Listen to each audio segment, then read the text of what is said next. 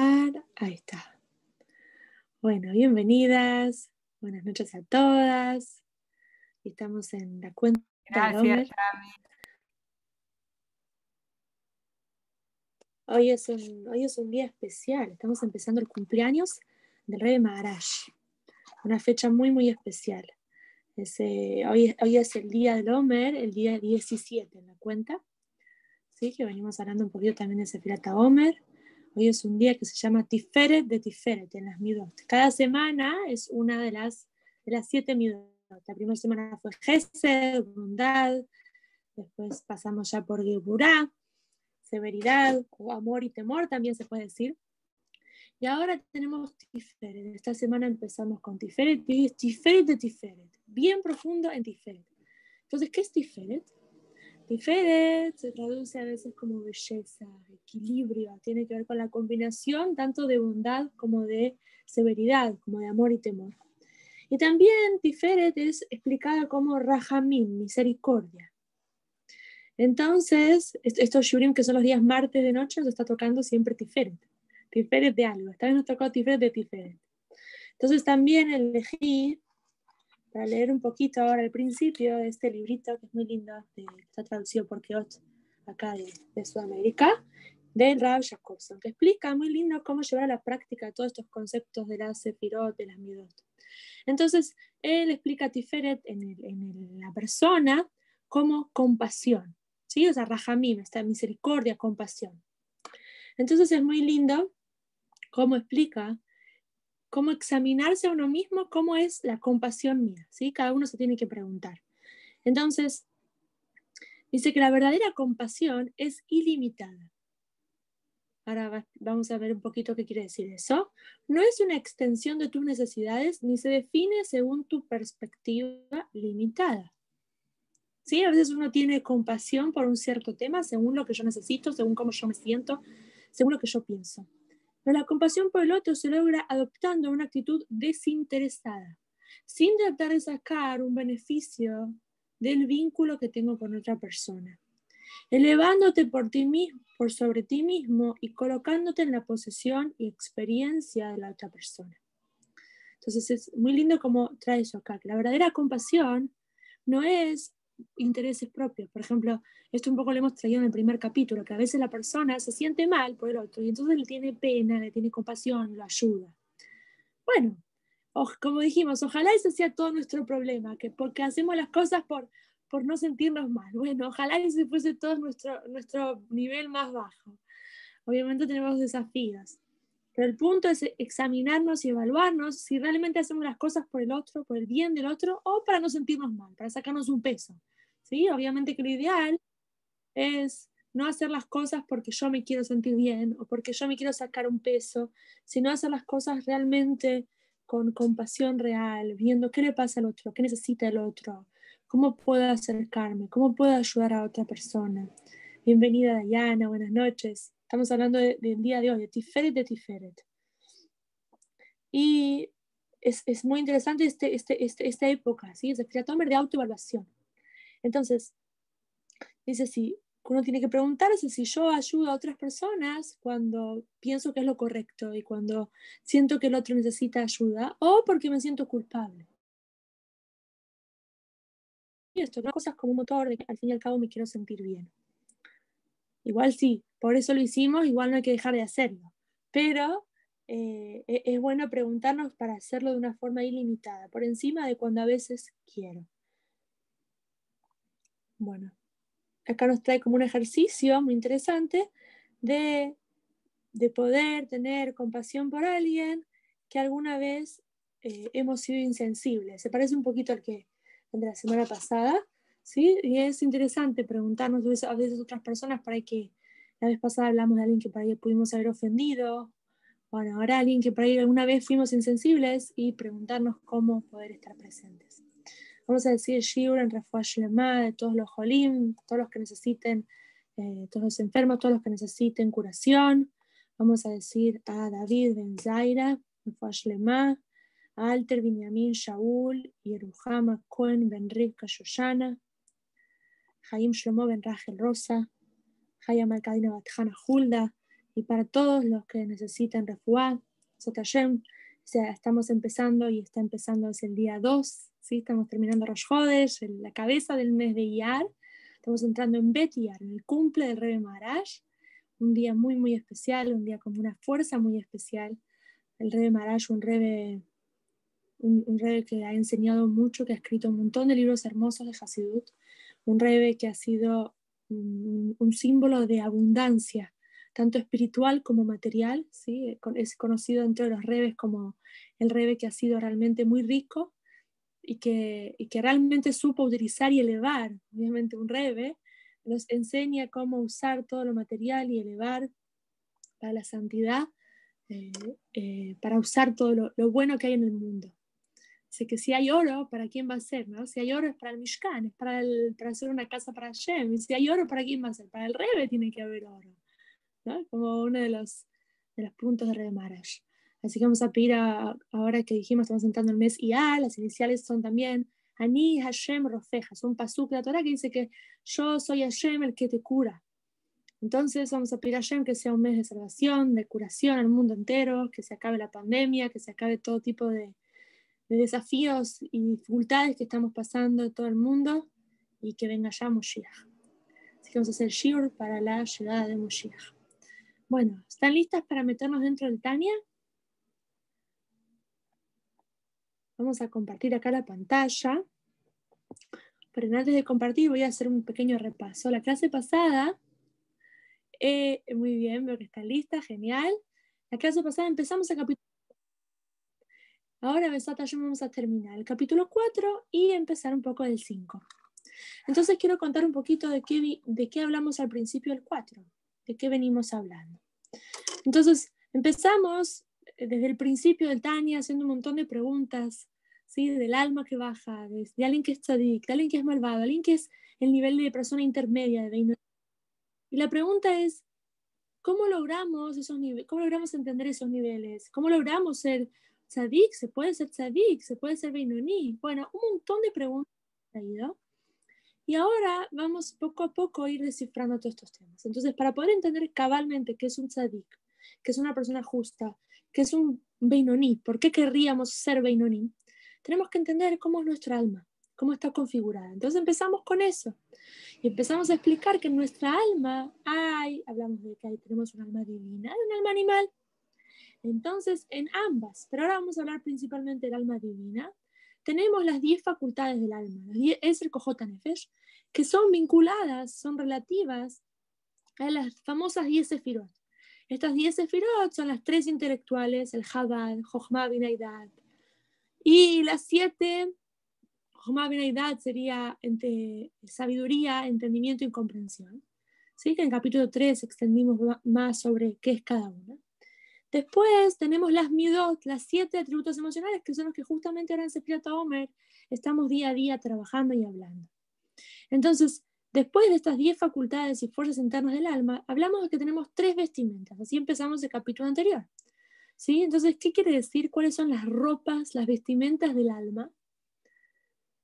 ¿Quién se anima a responder? El habla, el pensamiento y la acción, ¿no? Perfecto, perfecto. Y explicamos por qué serían vestimentas, por qué son llamadas ropas del alma, por qué el alma, por qué el alma necesitaría ropa. ¿Alguien se acuerda? ¿O se anima? Dijimos que la ropa es algo que uno usa para, para mostrarse afuera. Y no siempre la ropa es exacto lo que pasa dentro nuestro, pero uno elige la ropa según la circunstancia externa.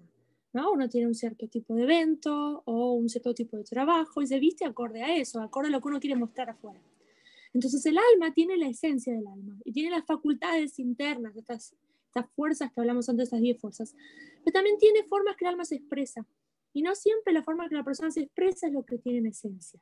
¿Sí? También vamos a aprender un poco más quiénes somos realmente y qué es lo que expresamos, si lo que expresamos es acorde a lo que somos.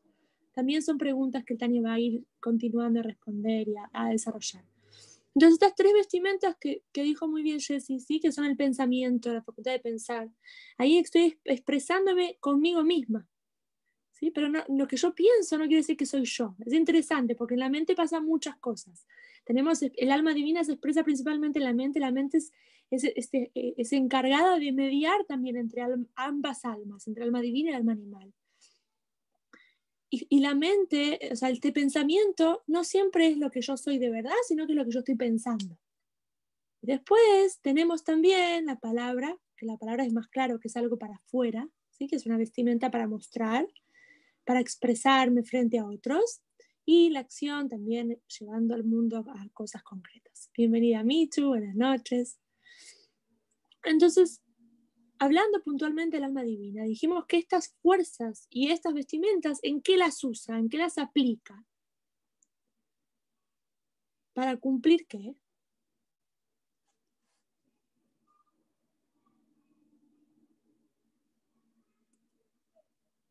para cumplir las mitzvot, ¿sí? Tenemos el alma, también el alma, o sea, lo que existe en el mundo espiritual, la mayoría de los casos existe también su reflejo en el mundo material, en, su, en el mundo también de, la, de las fuerzas del mal. Entonces, hablando del mundo material, tanto como existen todas esas vestimentas que usamos para mitzvot, también existen que usamos para cosas que para ahí no son, no son buenas. Pero el punto, ahora vamos a hablar puntualmente del alma divina especialmente, pero más adelante vamos también a hablar un poco más qué pasa cuando usamos esas fuerzas, esas vestimentas del alma animal. ¿sí? Entonces, estas vestimentas del alma divina principalmente se abocan en las mitzvot. Las mitzvot no son solo las mitzvot literales, ¿sí? de poner una mezuzá, de, de, por ahí decir la tefila del Shema, el rezo del Shema. Sí, hay muchas, infinitas infinitas. Hay 613 mitzvot, pero hay muchas ramificaciones y cada detalle de la vida cuando yo estoy usando, uso mi fuerza, mi energía para servir a Shem, para, para hacer cosas buenas, para hacer mitzvot, para, para crecer como persona, también eso se puede considerar una mitzvah. ¿sí? También más adelante el Tani va a explicar cómo yo elevo, por ejemplo, cuando doy de acá, elevo todas las horas que estuve trabajando, todo el esfuerzo, toda la comida que comí para tener fuerza para ir a trabajar, por ejemplo. ¿sí? Ahora, después nos pusimos a adentrarnos un poco más en el punto de la Torah. Y hoy nosotros vamos a avanzar un poco en eso, es una muy buena preparación para, para Shavuot, que estamos ahora contando los días para llegar al día de la entrega de la Torah. Y esto, en este libro vamos a hablar mucho de la grandeza de la Torah. Cómo logramos una unión tan especial con el estudio de la Torah, el aprendizaje. Entonces, hablamos de que la Torah en sí misma es la sabiduría y la voluntad de Hashem. El razón, lo que Hashem quiere, qué Hashem quiere hacer y que su sabiduría misma, su jochma. Podemos decir que es uno con él, uno con su esencia, con la gloria de Hashem. O sea, algo inalcanzable de explicar en palabras la grandeza de la Torah. Porque si también, también hemos traído la clase pasada que ningún pensamiento puede llegar a aprehender a Hashem. Este verbo de aprehender, ¿sí? de litfos, de captarle así, de poder captar, de poder comprender, no es solo entender, es como que se hace parte de uno, de, de, hacerlo parte de su mente. Entonces, ningún pensamiento realmente puede aprehender a Hashem. ¿Por qué? Porque la grandeza de Hashem es infinita. Nosotros somos personas finitas y nos acercamos a, a entenderlo, pero no podemos comprenderlo por completo. Entonces, eso tenemos que siempre saber, que lo que podemos llegar es limitado, pero que podemos cada vez subir y subir y subir en infinitos niveles de aprendizaje. Ahora, lo que justamente estamos diciendo parece una contradicción, porque estamos diciendo que ningún pensamiento puede realmente captar a Shem, y por otro lado estamos diciendo que estamos captando la Torah. Y si estamos captando la Torah, estamos captando a Hashem mismo. Entonces ahí es que los sabios traen una famosa frase que dice que donde ves la grandeza de Hashem también ves su humildad. En donde Hashem eligió, entre comillas, le contraer su, esta, esta, esta, luz tan fuerte que es la Torah, esta sabiduría y voluntad de él tan, tan infinita, contraerla, investirla en, en, en, en una Torah que se inviste en asuntos materiales. Y se inviste, es una Torah que baja por el Seish este orden que hemos hablado de los eslabones, de las 10 sefirot conectadas una con otra, que va bajando y va bajando y va bajando cada vez más, se va contrayendo, hasta investirse en asuntos materiales. si se puede comer o no se puede comer ese tipo de fruta o ese tipo de, mm, por ejemplo, fruta, una fruta que, que si tuvo orlá, ¿sí? los primeros tres años de un árbol no se puede comer la fruta ni Israel, si se puede comer los bichos o no se pueden comer, cosas literalmente muy, muy, muy mundanas. ¿sí? La Torah, la sabiduría suprema de Hashem se inviste en qué pasó si alguien robó y qué tiene que hacer para recompensar lo que robó. O sea, cosas muy, muy humanas y, materiales. Y a la vez también Hashem hizo, permitió que su Torah, su gran sabiduría, se invista en, palabras concretas y físicas impresas en un libro o escritas en un Sefer Torah. Entonces ahí vemos cómo contrajo esta luz tan poderosa de la Torah para que todos podamos captarla, para que nosotros podamos tener, podamos acercarnos y, y, captar la Torah. Entonces, Besata yo me la voy a compartir. ¿Alguna pregunta hasta acá?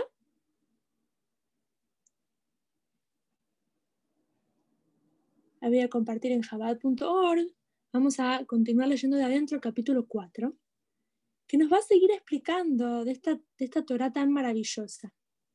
Entonces, al final del show pasado hablamos de un famoso mayal, una analogía, que compara la Torah con el agua. ¿Alguien se acuerda por qué se compara la Torah con el agua?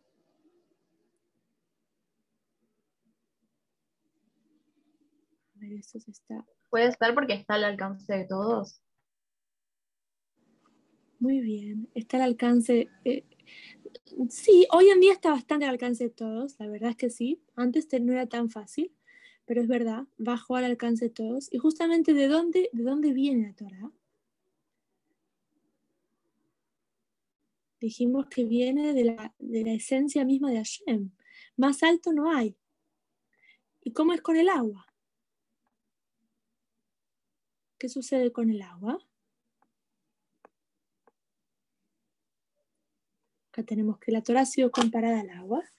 Entonces, por ejemplo, te imaginamos una montaña, ¿sí? Que cae lluvia, que, se tiene, que tiene agua arriba, de arriba, arriba, arriba toda la montaña. Y esa agua va bajando por toda la montaña.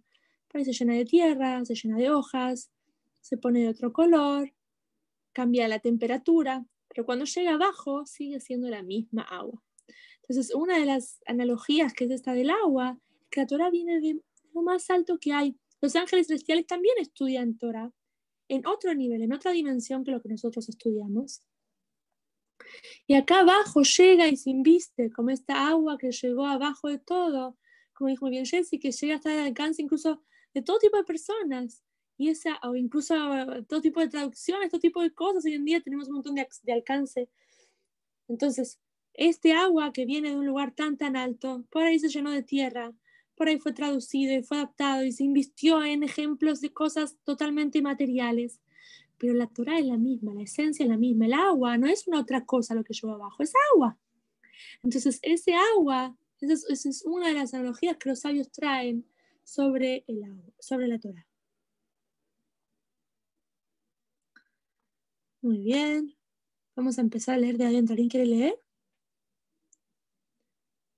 Entonces, como la Torá y sus mandamientos visten las diez facultades del alma y sus 613 órganos, ¿sí? Esto que hablamos de las diez facultades, las diez fuerzas que tiene el alma que se corresponden con las 10 sefirot, y los 613 órganos, esto también un poco lo hemos mencionado, que las 613 mitzvot son comparadas con los órganos del cuerpo.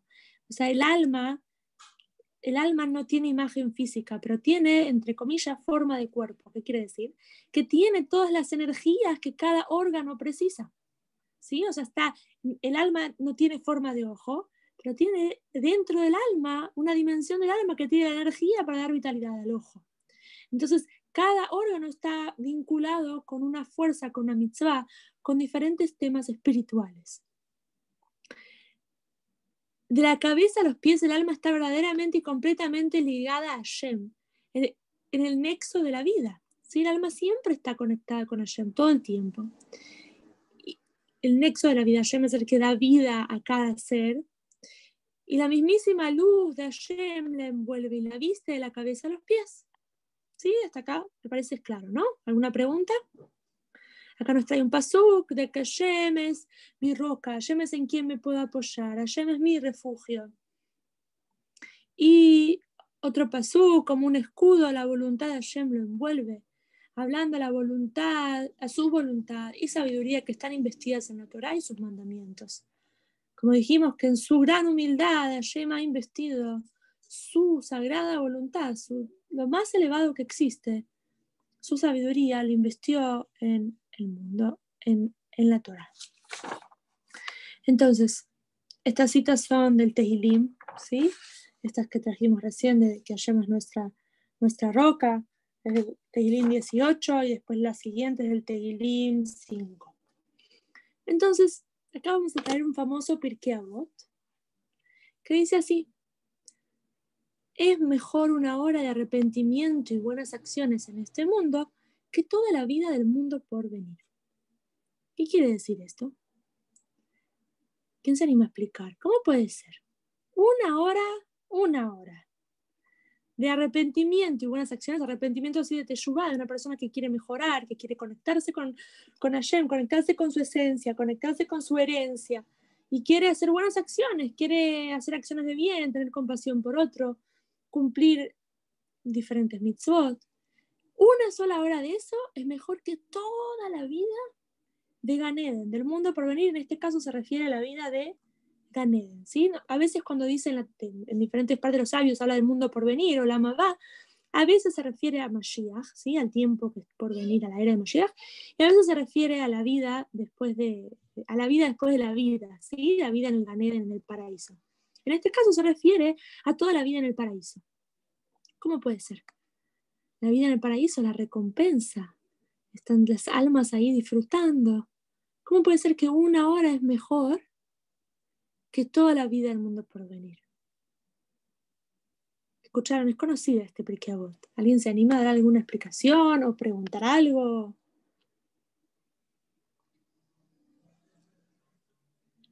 ¿Por qué tanto énfasis en lo que podemos lograr acá abajo.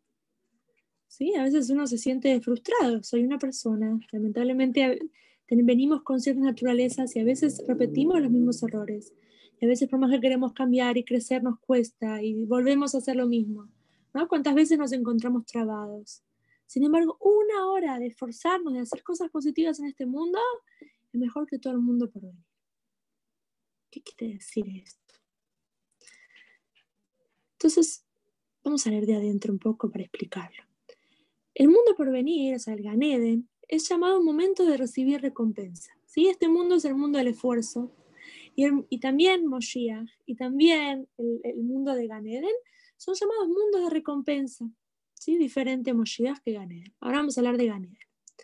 Entonces, la recompensa en el mundo por venir, ¿sí? la recompensa después de los 120 años arriba, ¿no? como como decimos ahí en el cielo, en el Ganeden, que no es arriba literalmente físicamente, ¿sí? Está explicado que, que Ganeden puede ser acá mismo.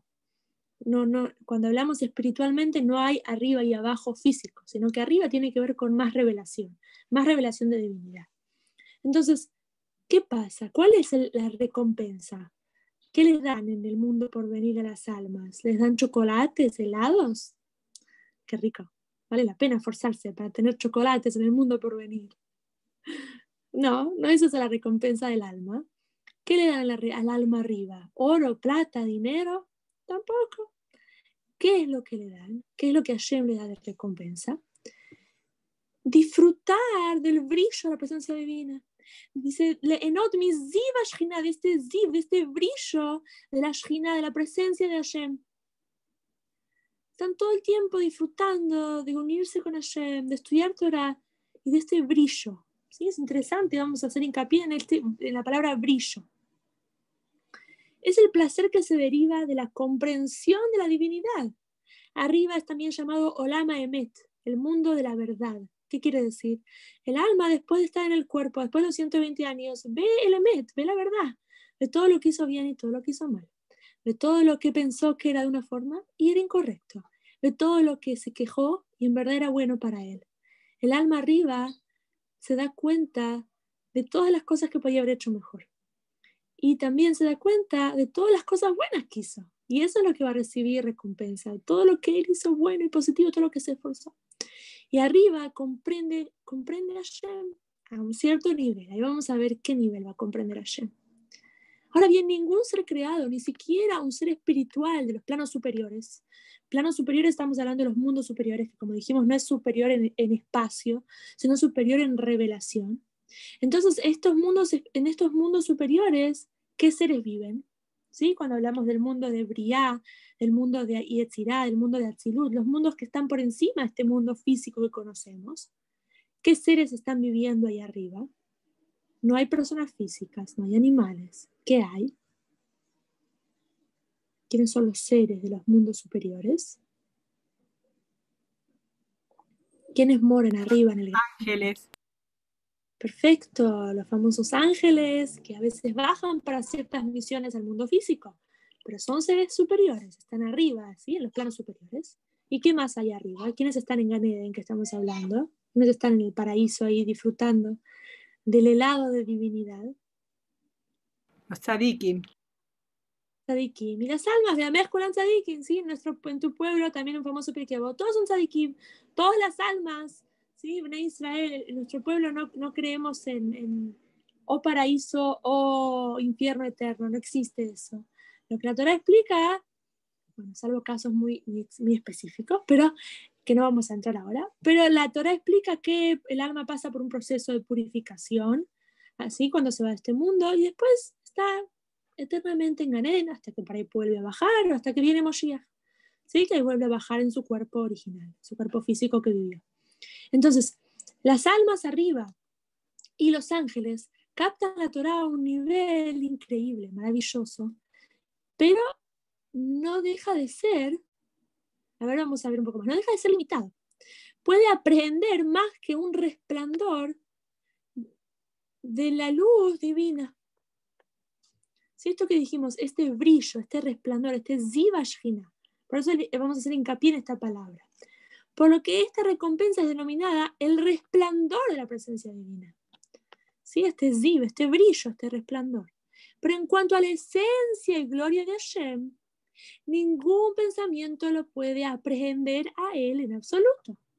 ¿Sí? Entonces estamos diciendo, arriba tienen un nivel de captación increíble y captan la Torah en niveles muy elevados. ¿Sí? Uno puede explicar un mismo pasuk trayendo explicaciones mucho más profundas acá abajo. Y todavía arriba tienen en, las academias de Torah, del Ganeden, tienen explicaciones todavía más, más altas que todavía no sabemos acá. Porque a veces nos revelan, dice que una persona que se, esforzó estudiando Torah y se esforzó haciendo cosas buenas, a veces cuando duerme le revelan secretos de arriba. Así que después me cuentan que soñaron. Entonces, ¿qué pasó con, estas, con, con las academias de arriba? Estudian la Torah en dimensiones muy elevadas pero no llegan a captar la esencia y la gloria de Hashem, la sabiduría, la esencia de Hashem.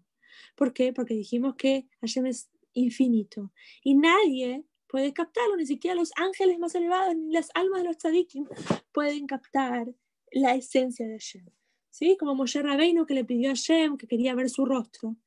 Y Hashem le dice, ninguna persona va a ver mi rostro y va a vivir. Dice que le, dice otra que le mostró la espalda.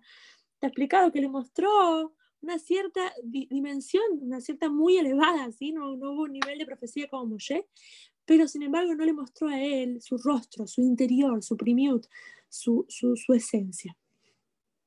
Ahora, como les dije, esto estamos hablando de Ganeden.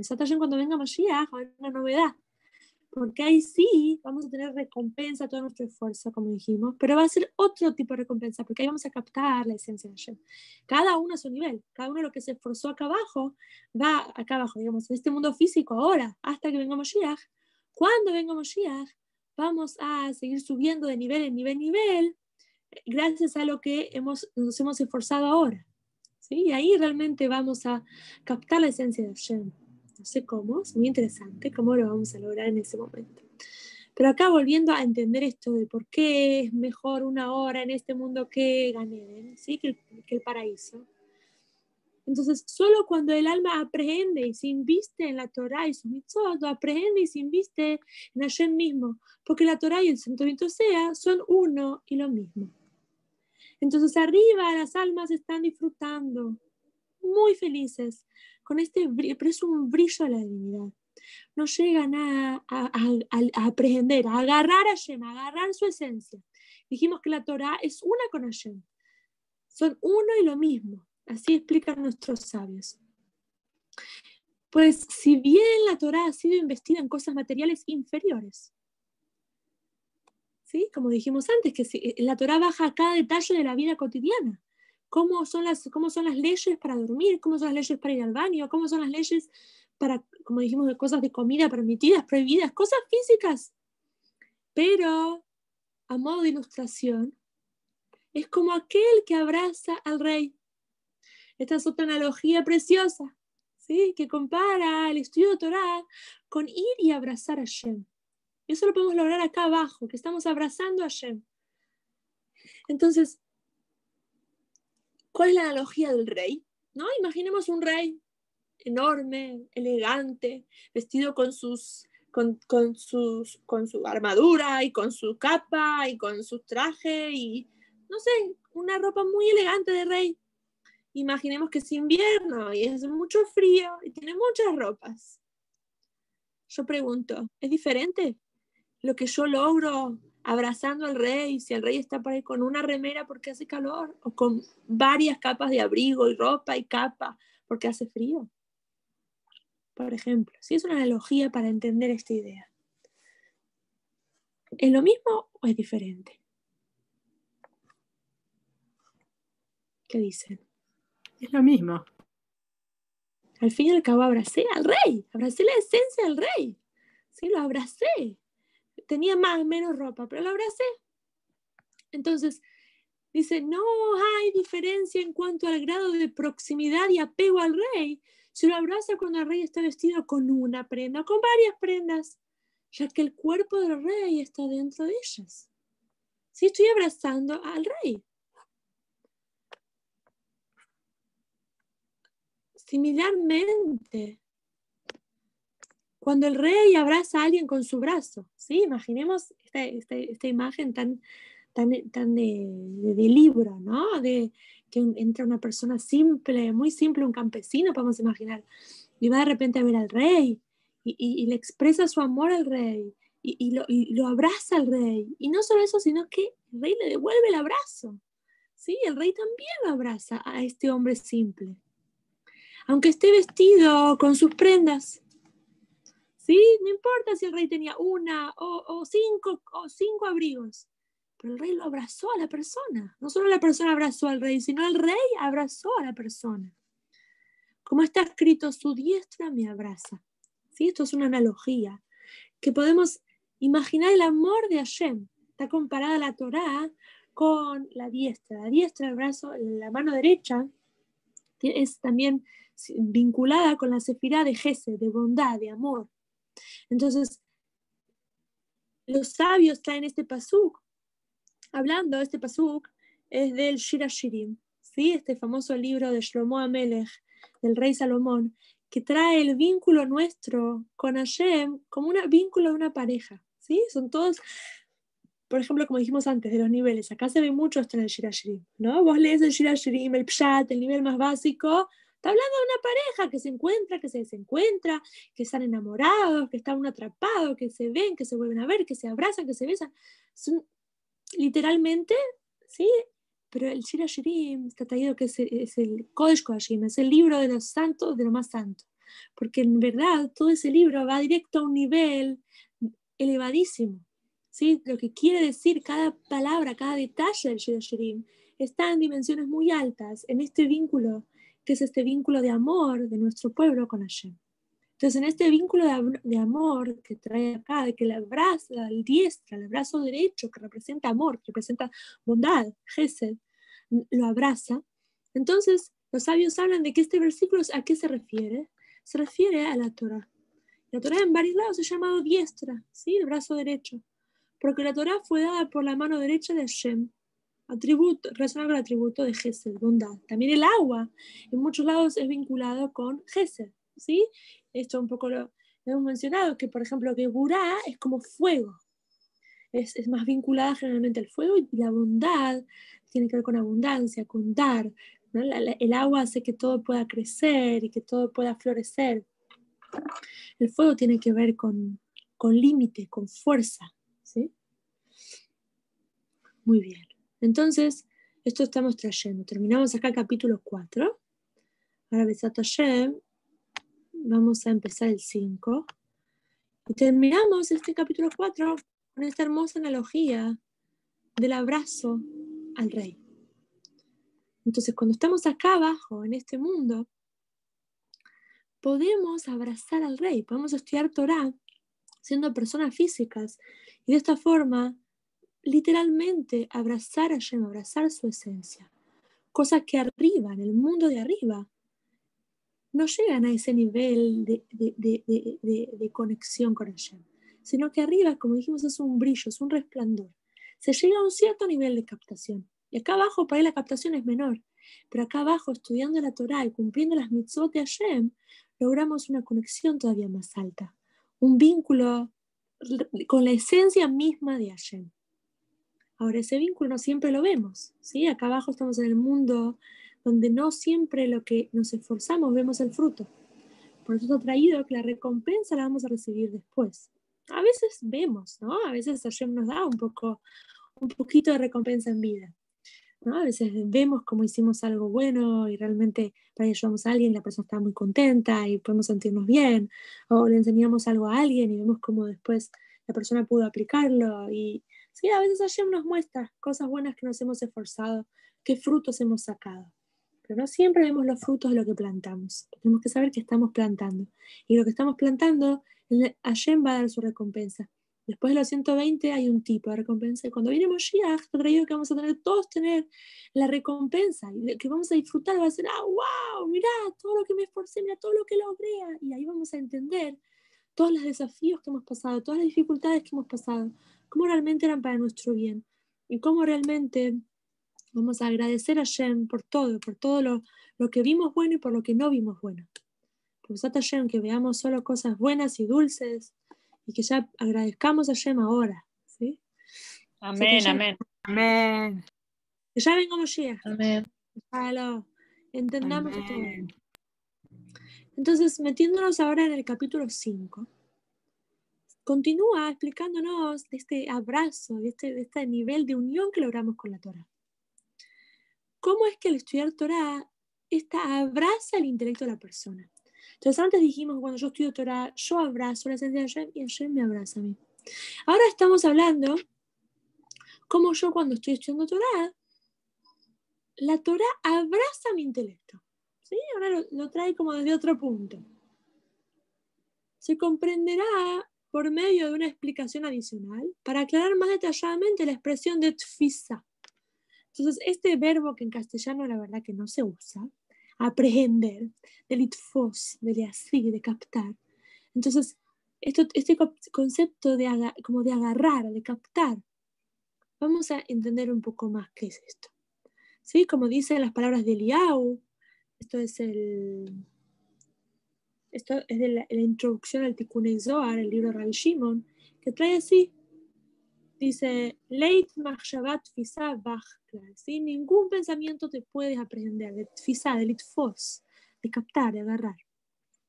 Cuando cualquier intelecto percibe y entiende cierto tema intelectual, ¿sí? Estamos hablando, imaginemos una persona está pensando, está concibiendo, está entendiendo, está concibiendo, perdón, está percibiendo, entendiendo cierto tema, cierto concepto.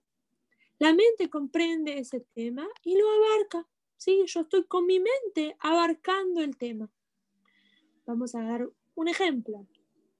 Estoy pensando cómo funciona un motor de auto. No sé, un ejemplo muy simple.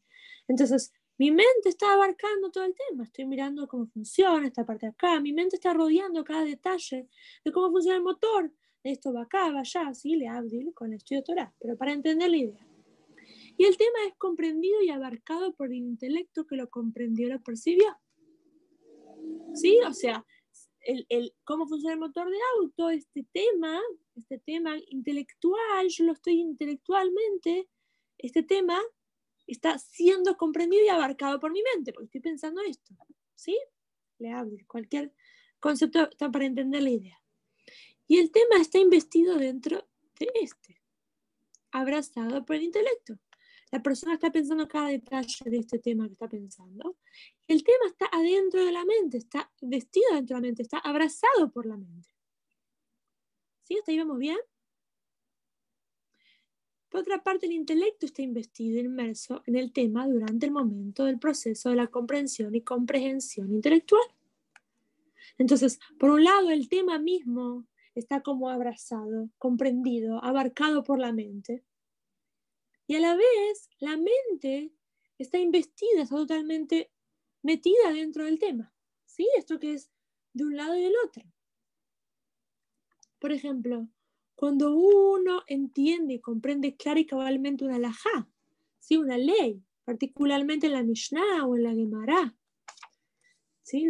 La, Mishnah y la Gemara, cuando hablamos de, que de, la, de, mitzvah de los hombres de estudiar Torah, digo de los hombres porque la mujer, la mitzvah de estudiar Torah es principalmente en todas las cosas que ella tiene que cumplir.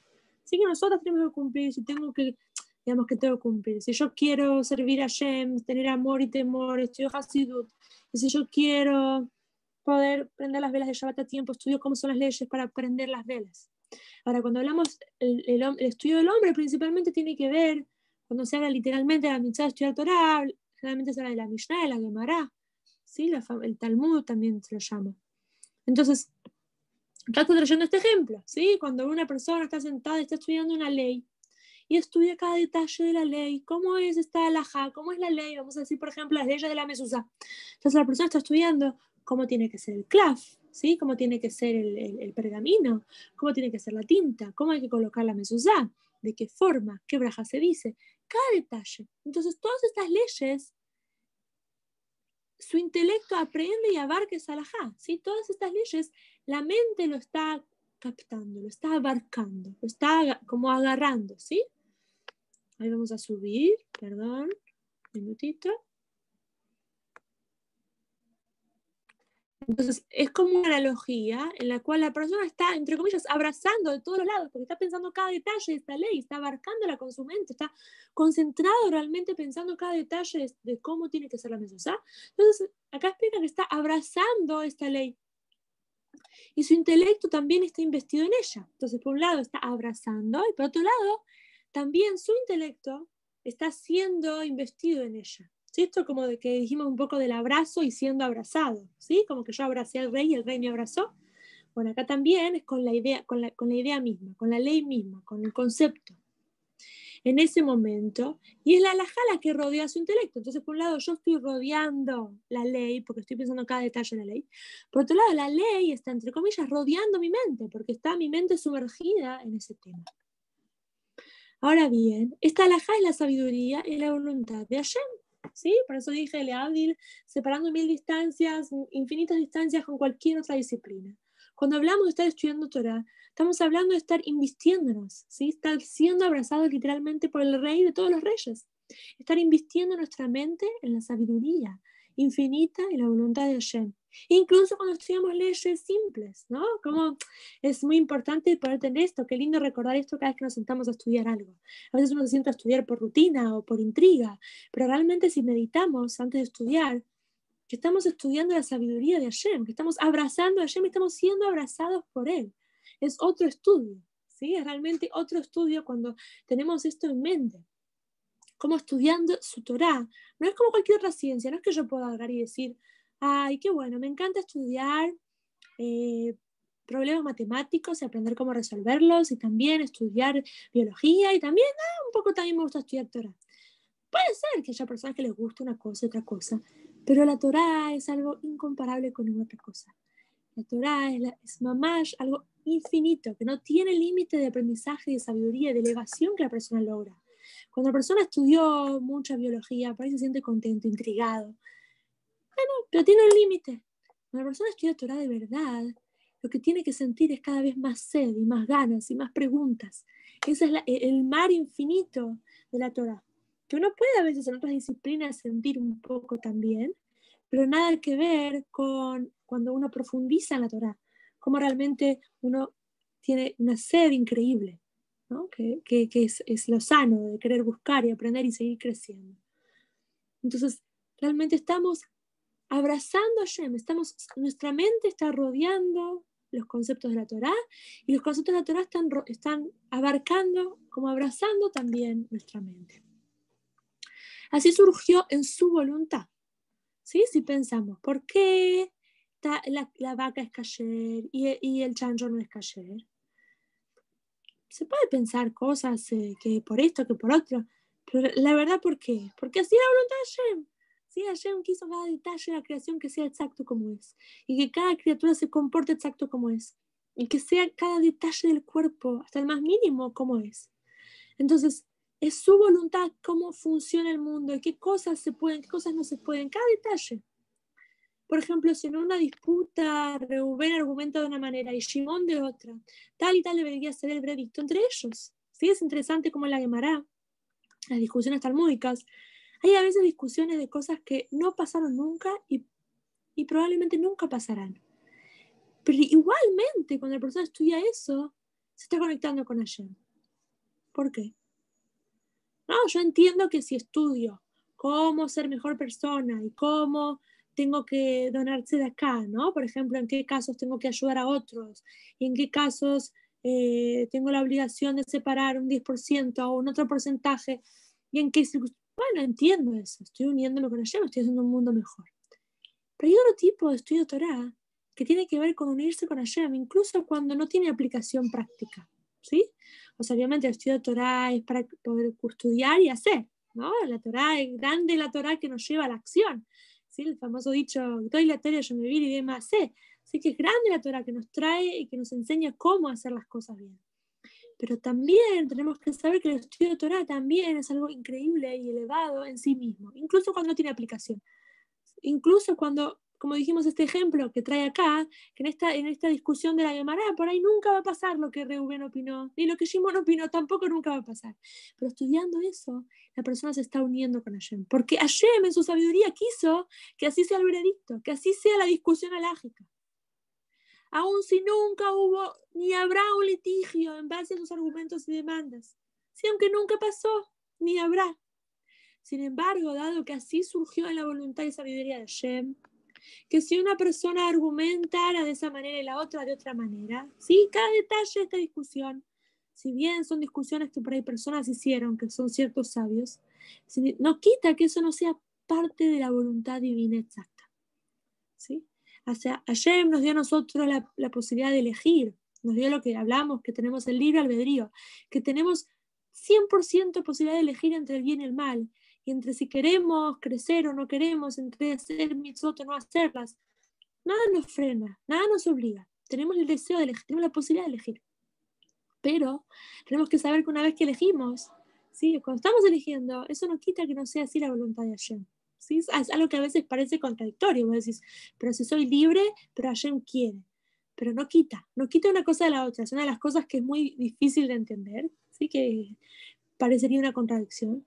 Pero no quita que por más que las personas tengamos libre elección y que las personas elijamos y que las personas se hayan esforzado y la Gemara son todas discusiones, la mayoría son discusiones de sabios, pero tal como los sabios hablaron, era según la voluntad divina. ¿Sí? Por eso, de hecho, nosotros decimos que la Torah no es solo la Torah escrita, que viene de Hashem, sino que toda la Torah viene de Hashem. Y vos decís, ah, pero el Tanya lo escribió Zalman, lo escribió este, este, este, este rebe, el rebe de Chabad. Es una persona, pero no quita que esto no sea Torah divina, porque la persona lo escribió con su sabiduría, con su esfuerzo, con su intelecto, con su mano física. Seguro que sí, lo escribió una persona, este libro, el Tanya. Pero cada detalle y cada cosa que le escribió tiene una inspiración divina y realmente, por más de que lo procesó por su mente y por más de que pudo ser lógico, eso es Torah. Y todo lo que es Torah es uno con Hashem y con su sabiduría. Entonces, una alajá, una ley, ¿la escribió un rabino? Sí, la escribió un rabino. Sí, la escribió un, gran, una persona muy estudiosa, intelectual. Pero ¿y es algo inventado por él? No.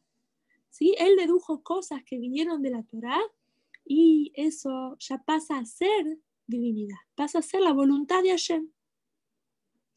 Entonces, como dijimos, esta discusión era una discusión entre personas, pero una vez que esa discusión pasó a ser parte de la Torá, esa discusión pasó a ser parte de la sabiduría divina. Y ya desde un principio Hashem quería eso. ¿sí? Por ejemplo, hay, un, hay una famosa explicación que trae que Adán y Jabá, ¿verdad? Tenían una única mitzvah, una única cosa que no podían hacer. ¿Cuál era?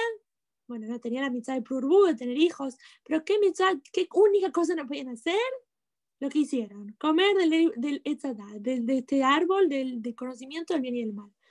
Entonces, por un lado uno dice, ¿cómo puede ser que estos hombres, qué cabeza de, como lo único que no tenían que hacer lo hicieran? Bueno, después, y por eso salimos de Ganeden y toda la historia del Galut que venimos viviendo empezó de ahí. Ahora, hay una explicación que trae Hasidut que en un punto Hashem les dio, y es verdad que les dio, les dio totalmente libre albedrío a Adán y Jabá de elegir entre comer o no comer. Ellos podían elegir, podían no haber comido. Pero, no, pero a la vez era la voluntad de Hashem que no coman y que pasemos por todo este galut que estamos todavía pasando. Entonces, cada detalle de lo que pase, cada detalle de la Torah, es la voluntad divina de Hashem. Que Hashem elige que se invista en ciertas personas y en ciertas formas, pero no deja de ser la voluntad suprema de Hashem. Entonces, dice que cuando una persona sabe y comprende este veredicto como una alajá dispuesta en la Mishnah, ¿sí? Estamos hablando de una discusión de los sabios que quedó escrita en la Mishnah, que quedó escrita en la Gemara. Ya pasó a ser parte de la Torah, pasó a ser parte de sabiduría suprema. Ya no es una opinión de una persona, es divinidad, es sabiduría divina que se invistió a través de palabras de personas. Sí, puede ser una, una discusión de la, de la Mishnah, de la Gemara o los poskim. Los poskim digamos, es posterior a lo que es la Gemara, que es cuando ya diferentes rabaní muy grandes han hecho un saca han dicho cómo queda la lajá. ¿Sí? Porque, por ejemplo, en, en, en, la Gemara hay diferentes discusiones, por ejemplo, a qué hora se dice el Shema, cómo se cumple la mitzvah del Shema. Bueno, y hoy vos agarrás el Shuhan Aruj, el libro de las leyes alágicas que ya están marcadas, no hay discusiones. Dice el Shema, se cumple la mitzvah de decir el Shema a tal hora, de tal forma. Por ejemplo, como hablamos antes de la Mezuzá, ¿sí? Los sabios discuten cómo tiene que ser la mesa, cómo tiene que ser los tefilín, de dónde se aprende que los tefilín. En la Torah dice que hay que ponerse tefilín, ¿no? ¿Y cómo dice la Torah que hay que poner tefilín? Dice, veneneja, van a ser como señales entre tus ojos. ¿Dónde se ponen los tefilín? Acá, acá, acá arriba, ¿dónde se ponen los tefilín? ¿Y cómo van a ser? ¿Por qué son cuadrados y justo negros? ¿Y qué tiene escrito adentro? Todo eso los sabios lo han deducido de diferentes partes de la Torah y lo han discutido. Pero una vez que ellos lo discutieron y, fijaron la ley, esa ley ya es divinidad pura, esa ley es la voluntad de Hashem. No es que los sabios dedujeron cosas por sí mismos porque son inteligentes, sino que realmente es la voluntad de Hashem que ellos han logrado descifrarla y e investirla en palabras y en leyes concretas que, son lo que, es la la ley concreta. Entonces esta persona comprende, si la persona que está profundizando, meditando sobre esta discusión o sobre esta ley, comprende, abarca y aprehende con su intelecto la voluntad y sabiduría de Hashem. ¿Sí? Yo estoy leyendo el Shulchan Aruch de Yosef Caro, que lo escribió Yosef Caro, y no estoy aprendiendo algo interesante que dijo Yosef Caro este gran, gran, gran, gran sadik, gran, gran rabino.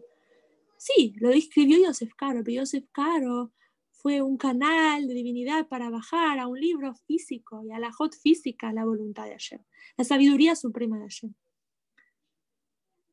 Entonces, estoy, cuando estoy estudiando Torah, cada detalle de la Torah, la Torah es el mar infinito de Torah, no es solo el Humash, la Torah, no es solo el Tanaj, la Torah.